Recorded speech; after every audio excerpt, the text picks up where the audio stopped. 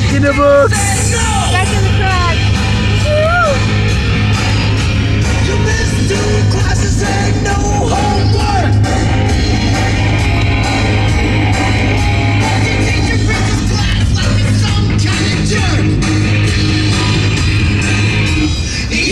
Hi.